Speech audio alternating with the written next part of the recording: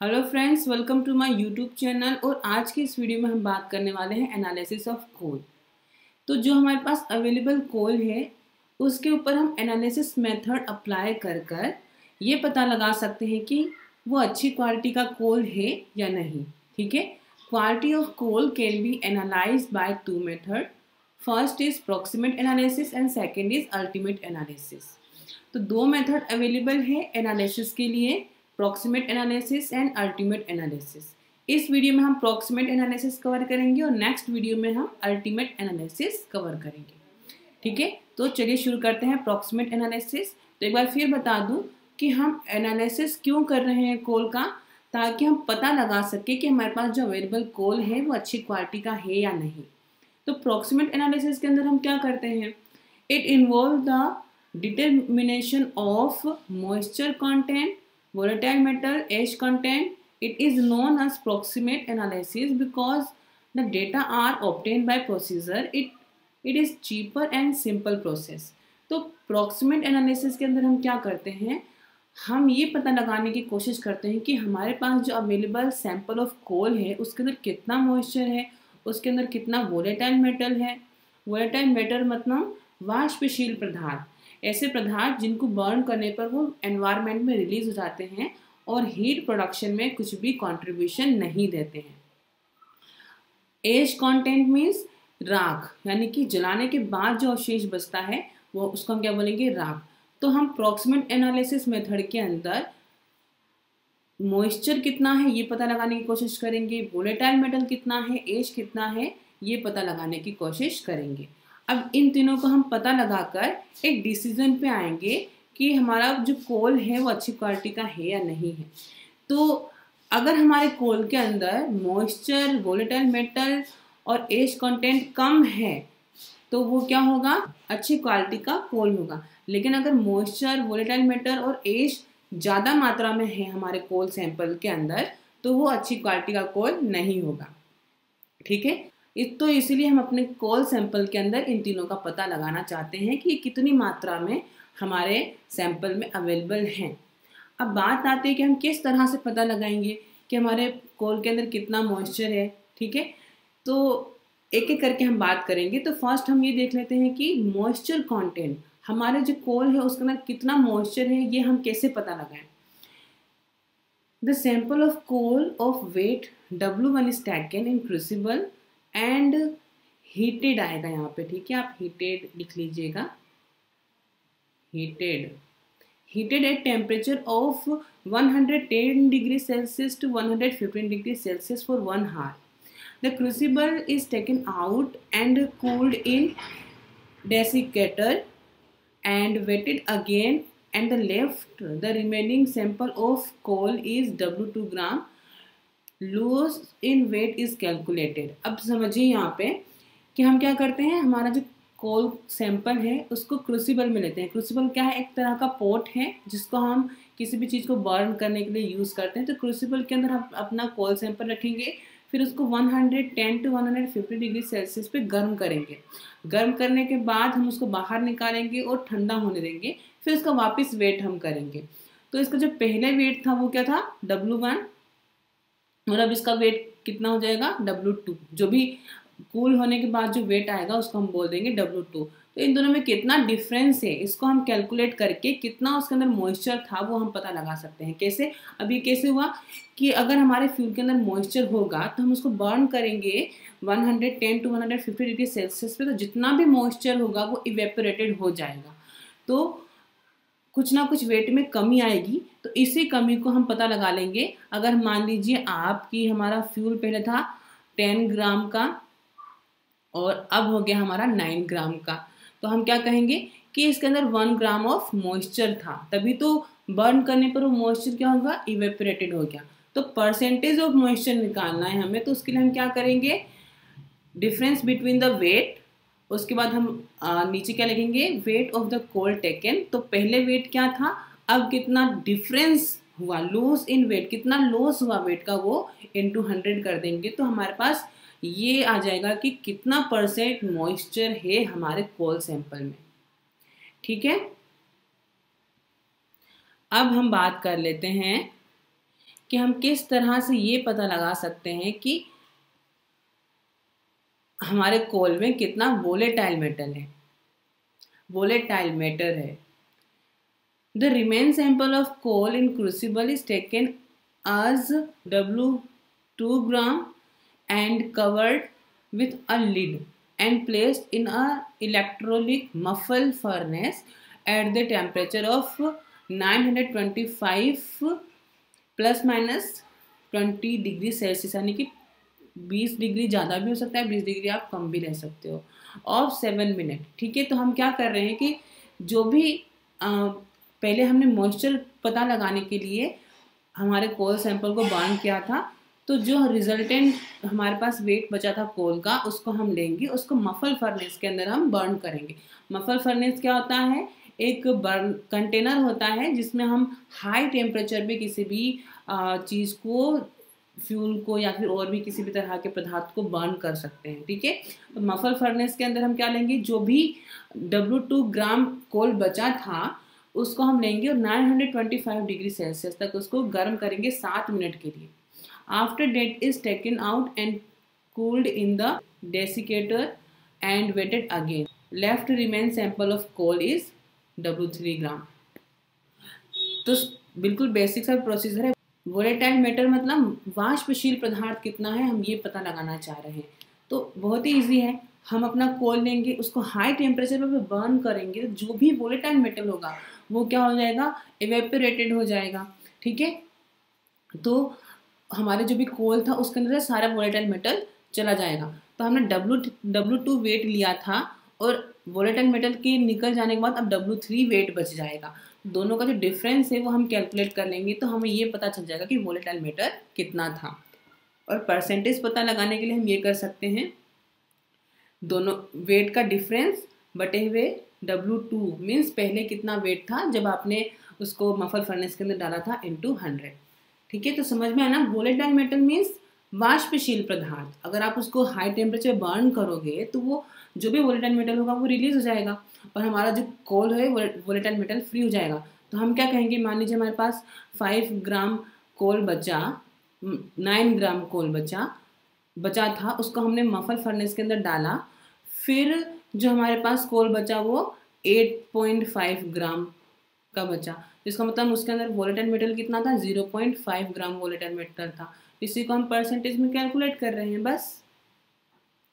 ठीक है, अब नेक्स्ट है एश कंटेंट तो यहाँ तक अभी हमने क्या किया? हमारे पास सबसे पहला जो कोल सैंपल था डब्लू वन उसको हमने बर्न किया और हमने मॉइस्चर पता किया और जो भी रिजल्टेंट था वो क्या था? डब्लू टू था। फिर डब्लू टू को हमने मफल फर्नेस के अंदर डाला बर्न किया और वोलेटाइल मेटल कितना था वो हमने पता किया।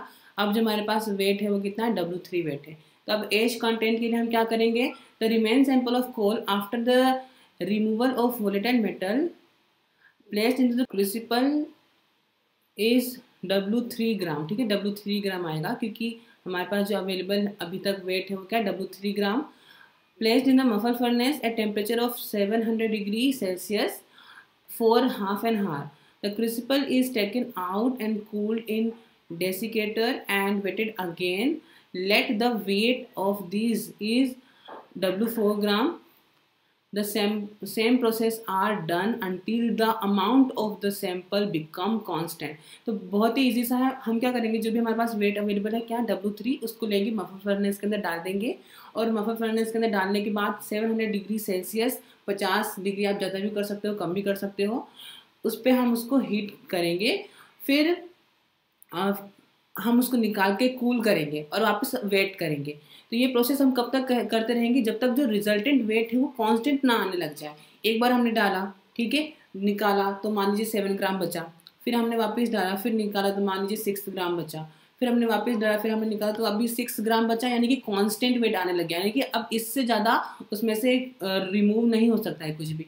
तो उसी को हम क्या बोलेंगे कि हमारा वो क्या है? एश है। एश मतलब राख। तो राख क्या होती है कि पूरा उसको आप हीट करो, जितनी भी हीट उसके अंदर थी, वो सब हमने निकाल दी। हमने मॉइस्चर निकाल दिया, उसके अंदर गोल्डन मेटल थे, वो निकाल दिया, उसको पूरी तरह से बर्न किया। अब लास्ट में जब कॉन्स्टेंट आने लग गया कि भाई उसको कितना भी जलाओ, वो तो उतना ही रहेगा। तो उसी को हम क्या बोलते हैं? एश तो एश निकालने के लिए हमें हमें क्या चाहिए? ओनली फॉर डब्लू फोर जो भी वेट था, वही हमारा क्या होगा? एच तो इसका परसेंटेज निकालने के लिए हम ये लगा देंगे weight of ash left W four weight of coal sample कौन सैंपल क्या था? हमारा डब्लू थ्री था into hundred degree into hundred ठीक है? तो इससे हमको क्या मिल जाएगा? एच कॉन्टेंट मिल जाएगा। अब फिक्स्ड कार्बन कार्बन कितना था उसके अंदर? तो बहुत ही ईजी है। आपने कितना फ्यूल लिया? सैंपल जो लिया था, उसके अंदर से आप मॉइस्चर माइनस कर दीजिए, उसके अंदर से आप वोलेटाइल मेटल माइनस कर दीजिए, उसके अंदर से आप एश माइनस कर दीजिए। तो बचेगा क्या? कार्बन क्योंकि फ्यूल जलता किससे है? कार्बन की वजह से ही। तो आप सैंपल में में से सैंपल में से मॉइस्चर वोलेटाइल मेटल और एश को माइनस कर देंगे तो जो भी बचेगा वो क्या बन जाएगा हमारा? वो क्या होगा? कार्बन फिक्स्ड कार्बन ठीक है? तो यहाँ पे आप देख सकते हैं फॉर्मूला तो कार्बन परसेंटेज निकालने के लिए क्या करेंगे? टोटल हंड्रेड परसेंटेज होते हैं। उसमें से मॉइस्चर का परसेंटेज माइनस कर देंगे। उसमें से वोलेटाइल मेटल का परसेंटेज माइनस कर देंगे और उसमें से एश का परसेंटेज माइनस कर देंगे। ठीक है? तो जो भी बचेगा, वो हमारे क्या होगा? फिक्स्ड कार्बन बचेगा। तो बहुत ही इजी सा प्रोसेस से हम क्या करना चाह रहे थे? हम ये पता लगाना चाह रहे थे कि कि हमारे कोल के अंदर कितना मॉइस्चर है, कितना वोलेटाइल मेटल है और कितना एश है और कितना कार्बन है। क्यों? हम ये पता लगाना क्यों चाह रहे थे? क्योंकि हमें ये पता है कि अगर हमारे कॉल के अंदर मॉइस्चर एज सोलेटाइल मेटल ज़्यादा होंगे तो इसका मतलब हमारा कॉल है वो अच्छी क्वालिटी का नहीं होगा, और अगर कम होंगे तो हमारा कॉल अच्छी क्वालिटी का होगा। तो कॉल की क्वालिटी का पता लगाने के लिए हमें इन तीन चीज़ों का पता लगाना पड़ेगा। तो पता हमने किसे लगाया? हमने फ़र्स्ट कॉल लिया, उसको बर्न किया 110 डिग्री सेल्सियस पे तो उसके अंदर जितना भी मॉइस्चर था वो निकल गया, फिर हमने उसका वेट लिया। फिर उसको, उस जो सैंपल बचा है, उसको हमने वापस मफर फर्नेस के अंदर डाला, फिर से हीट दी, लगभग सात मिनट तक। तो उसके अंदर जो भी वोलेटाइल मेटल थे, वो भी रिलीज़ हो गए होंगे एवेपरेटेड हो गए होंगे तो फिर हमने उसका वेट किया। फिर हमने वापस उस सैंपल को लिया और आधे घंटे तक बहुत high temperature seven hundred degree Celsius temperature पर उसको बर्न किया। ठीक है? तो अब जो बचा जो कांस्टेंट क्वांटिटी बचने लग गई तो हमने इसको क्या बोला कि ये एश है। अब हमने इस तीनों को हंड्रेड में से माइनस कर दिया तो परसेंटेज ऑफ़ फिक्स्ड कार्बन पता चल जाएगा। क्यों? क्योंकि फ्यूल बर्न किसकी वजह से होता है? कार्बन की वजह से होता है। ठीक है? तो ये चारों पता लगाने के बाद हम ये कह सकते हैं कि हमारा कोल जो है वो अच्छी क्वालिटी का है या नहीं है। ठीक है? अब हम ऐसा क्यों कह रहे हैं कि भाई मॉइस्चर है तो हमारा, ज़्यादा मॉइस्चर है तो हमारा कोल अच्छी क्वालिटी का नहीं है, ज़्यादा वोलेटाइल मेटल है तो हमारा कोल अच्छी क्वालिटी का नहीं है, ज़्यादा एज है तो हमारा अच्छी क्वालिटी का कोल नहीं है, और अगर ज़्यादा कार्बन है तो हमारा कोल अच्छी क्वालिटी का है। ऐसा हम क्यों कह रहे हैं? तो इसके लिए हम समझ लेते हैं। इंपॉर्टेंस ऑफ़ प्रॉक्सीमेट एनालिसिस तो प्रॉक्सीमेट एनालिसिस का क्या इंपॉर्टेंट है? इसके अंदर हम बेसिकली यही पढ़ेंगे कि मॉइस्चर किस तरह से इफ़ेक्ट करता है क्वालिटी को वोलेटाइल मेटल और एज किस तरह से क्वालिटी को अफेक्ट करते हैं। ठीक है? बहुत ही जल्दी इसको पढ़ लेते हैं। Moisture is undesirable in the fuel because it decreases the calorific value. It consumes large amount of heat liberated from fuel. Therefore, the moisture decreases the efficiency of fuel. It is also increase the cost of transportation. If excessive moisture is present at the surface of the fuel, increase the handling difficulties. तो इसका मतलब क्या हुआ कि अगर आपके fuel के अंदर मॉइस्चर है तो आप जितना हीट प्रोड्यूस होगी, वो बहुत ज़्यादा वेस्ट हो जाएगी। क्योंकि मॉइस्चर वो सारी हीट को क्या कर देगा? कंज्यूम करते रहेगा। ठीक है? तो उसकी कैलोरीफिक वैल्यू क्या हो जाएगी? कम हो जाएगी। कैलोरीफिक वैल्यू क्या होती है? वन अमाउंट ऑफ़ फ्यूल को लिया वन यूनिट ऑफ़ फ्यूल को लिया, उसको बर्न किया तो कितना अमाउंट ऑफ़ हीट प्रोड्यूस हुआ? उसको क्या बोलते हैं? कैलोरीफिक वैल्यू और अगर कैलोरीफिक वैल्यू ज़्यादा होगी तो हम उसको क्या बोलेंगे कि अच्छी क्वालिटी का फ्यूल है। तो लेकिन अगर उस फूल के अंदर मॉइस्चर है तो वो जितने भी हीट प्रोड्यूस हो रही है, उसको अधिकतर हीट को कंज्यूम करता रहेगा और वो हमारी हीट फालतू वेस्ट होती रहेगी। तो इसकी वजह से कैलोरीफिक वैल्यू कम हो जाएगी और कैलोरीफिक वैल्यू कम हो जाएगी तो हम क्या बोलेंगे कि ये अच्छी क्वालिटी का कोल नहीं है, ठीक है? तो इसलिए मॉइस्चर होना अच्छी बात नहीं है। और मॉइस्चर की वजह से ट्रांसपोर्टेशन कॉस्ट भी बढ़ जाती है। क्यों? क्योंकि मॉइस्चर रहेगा तो वेट बढ़ जाएगा हमारे फ्यूल का। उसके साथ ही अगर सरफेस पे मॉइस्चर अवेलेबल है, जैसे कि लकड़ी है कोन है तो उसका सरफेस पर अगर मॉइस्चर अवेलेबल है तो उसको हैंडल करना डिफ़िकल्ट हो जाएगा, वो मेरे हाथों से फिसलने लग जाएँगे बार बार इसलिए मॉइस्चर कम से कम होना चाहिए। अब वोलेटाइल मेटल कम क्यों होना चाहिए? The large amount of volatile metal decreases दैलिक and burn with long smoky flame it require more combustion space for burning and otherwise large amount of volatile metal get unburn the coal containing high volatile metal come not के easily तो यहाँ पे volatile metal के लिए क्या कहा जा रहा है कि अगर आपके फ्यूल के अंदर वोलेटाइल मेटल है तो कैलोरीफिक वैल्यू को डिक्रीज कर देंगे। क्यों? क्योंकि वोलेटाइल मेटल हीट प्रोडक्शन में कुछ भी हेल्प नहीं कर रहा है। वो बस हीट कंज्यूम करे जा रहा है बिना फालतू के। ठीक है? तो हीट कंज्यूम करने का उस वजह से कैलोरीफिक वैल्यू क्या होगी? कम हो जाएगी। और साथ ही में अगर वोलेटाइल मेटल है तो बहुत ही स्मोकी फ्लेम के साथ हमारा फ्यूल बर्न होता है। इसके लिए हमें कम्बक्शन स्पेस बहुत ज़्यादा चाहिए होगी। ठीक है? तो इसी वजह से आपके फ्यूल के अंदर वोलेटाइल मेटल कम होना चाहिए। अगर वोलेटाइल मेटल ज़्यादा है तो केकिंग अच्छे से नहीं हो सकेगी हमारे फ्यूल की। ठीक है? अब बात कर लेते हैं हम एज कंटेंट के बारे में। In an ideal fuel ash content should be low because large amount of ash content increase the cost of fuel and transportation it may block the grate furnace and cause environmental problem तो ash production कम होनी चाहिए, क्यों? क्योंकि cost बढ़ा देगी transportation का। क्योंकि एज क्या है? एक तरह से फालतू पदार्थ है। उसको बर्न करने पर हीट प्रोडक्शन में हेल्प तो नहीं कर रही लेकिन हीट कंज्यूम कर रही है और लास्ट में कोई भी रिज़ल्ट नहीं देती। एक तरह से राख है। तो ये राख कम से कम प्रोड्यूस होनी चाहिए, ताकि एनवायरनमेंट को भी नुकसान ना हो और ट्रांसपोर्टेशन कॉस्ट भी कम हो।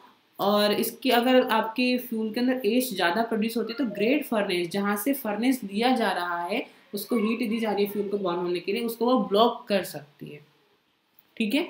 अब हम ये क्यों कह रहे हैं कि कार्बन हमें ज़्यादा चाहिए? Fixed carbon mean present carbon in fuel higher the percentage of the fixed carbon higher the calorific value better the quality of fuel तो अगर कार्बन ज़्यादा होगा तो कैलोरिफिक वैल्यू भी ज़्यादा होगी। क्यों? क्योंकि कार्बन ज़्यादा है तो हीट भी ज़्यादा प्रोड्यूस होगी हीट ज़्यादा प्रोड्यूस होगी तो कैलोरिफिक वैल्यू ज़्यादा होगी। कैलोरिफिक ज़्यादा अगर कैलोरिफिक वैल्यू ज़्यादा होगी तो हम क्या कहेंगे कि ये अच्छी क्वालिटी का फ्यूल है। सो so, यहाँ पे कंक्लूजन क्या निकला? So for better quality of coal, the percentage of moisture and ash and volatile should be low and fixed carbon should be high. तो बात यहाँ पे क्या हुई कि अगर आप अप्रॉक्सीमेट एनालिसिस मेथड अपना रहे हैं अपने कोल को एनालिसिस करने के लिए तो तो यहाँ पे क्या कहा जा रहा है कि अगर मॉइस्चर एश और वोलेटाइल मेटल कम है तो हमारा फ्यूल अच्छी क्वालिटी का है, और अगर कार्बन ज़्यादा है तो हमारा फ्यूल अच्छी क्वालिटी का माना जाएगा। ठीक है? तो नेक्स्ट वीडियो में हम पढ़ेंगे अल्टीमेट एनालिसिस अच्छा प्रोक्सीमेट एनालिसिस को हम प्रोक्सीमेट एनालिसिस क्यों कहते हैं? क्योंकि ये प्रोसीजर टू प्रोसीजर पे डिपेंड करता है। जो रिज़ल्ट होता है, वो प्रोसेसर टू प्रोसीजर पे डिपेंड करता है। मान लीजिए आपने सात मिनट के लिए ना जलाकर आठ मिनट के लिए जला दिया, फिर साढ़े छः मिनट के लिए बर्न कर दिया तो जो भी रिज़ल्ट आएगा, उस पर थोड़ा अफेक्ट अफेक्ट पड़ेगा। तो हम एक तरह से अप्रोक्सीमेट ही कर रहे हैं कि हाँ कि हमारा जो भी वोलेटाइल मेटल है मॉइस्चर है एश वो इतना है और इस वजह से हम इसको अच्छी क्वालिटी का कोल कहेंगे या नहीं कहेंगे। ठीक है? तो नेक्स्ट हम पढ़ने वाले हैं अल्टीमेट एनालिसिस तो अगर आपको कुछ भी समझ में आया हो अच्छा लगा हो तो please like share and subscribe ज़रूर कीजिएगा और अपने जो विचार हैं वो हमें कमेंट में ज़रूर शेयर कीजिएगा।